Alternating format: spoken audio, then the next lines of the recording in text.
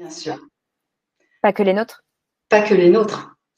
Mais ça, c'est tout, ça fait partie de la présence conscience, c'est-à-dire tout ce que, puisqu'on est relié au transgénérationnel et à l'inconscient collectif des femmes, ça veut dire que tout ce que je m'offre de guérir en moi, je l'offre non seulement pour ma descendance, c'est-à-dire que je peux aujourd'hui euh, dire mes filles euh, sont de jeunes adultes, hein, euh j'en ai une qui a 28 ans, mon aînée, elle aucun de mes enfants n'a eu de blessure euh, en lien avec la sexualité parce que j'ai pris en responsabilité ce qui s'était passé pour moi et je l'ai guéri pour mes filles, hmm. mes garçons, mais aussi je suis allée faire un tour sur tout le transgénérationnel parce qu'il y avait ce type de blessure dans mon arbre et bien sûr que c'est tout l'inconscient collectif après.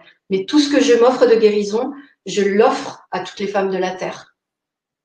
Ça c'est magnifique, c'est je trouve très important. Ça veut dire que tu, tu fais ça pour toi, mais tu le fais aussi du coup pour euh, toutes les femmes qui viennent après toi donc c'est magnifique. En fait, c'est c'est un soin de guérison pour euh, pour beaucoup de femmes. C'est un, de toute façon, c'est un massage tellement profond en fait que euh, on, on, touche à la vastitude, on mm. touche à toute la dimension énergétique parce que c'est pas c'est pas une caresse, c'est pas euh, un pétrissage, c'est pas un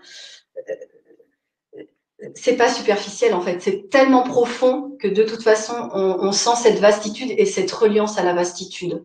Hmm.